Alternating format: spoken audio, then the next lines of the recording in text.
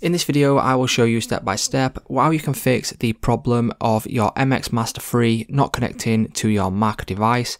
Now, what I did is I had a lot of problems with my MX Master 3 not connecting to my Mac. So what I did is I went to the top right hand corner to this little icon right here.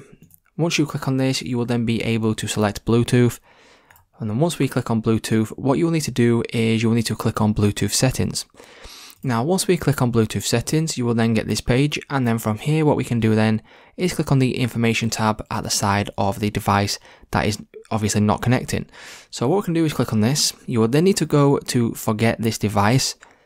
And then once you click on forget this device, select forget this device again right here to confirm this.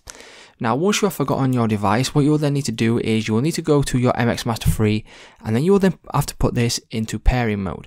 Once this is in pairing mode, what this will do then is it will show under nearby devices on this section right here.